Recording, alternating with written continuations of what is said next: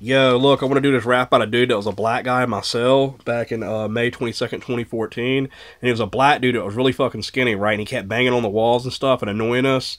And uh, uh, he shit on himself one fucking day in uh, uh one of the other cells. And he was asking deputies for help.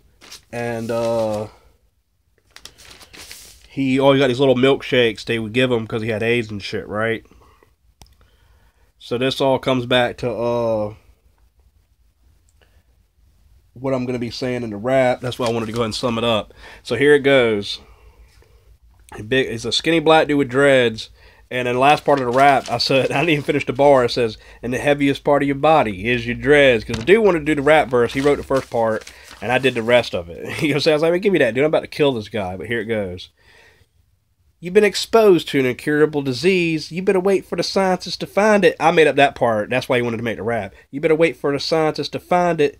and he was like, man, make a rap out of that. I was like, okay, okay.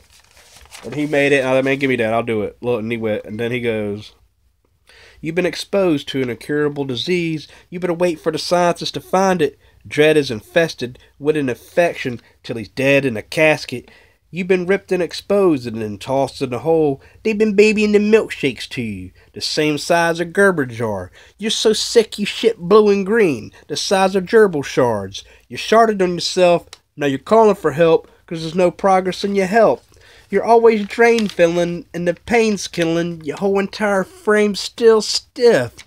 Resident Evil like, your physical state aching, zombie shaking in fits. You got rotten maggots crawling on you, faggot. Now you balling up like the ball in the basket. Cause the shit that you talk got you hit in the jaw. When I shoot you to the wall in the plaster, like the cork in the canister. So what if you knock even faster?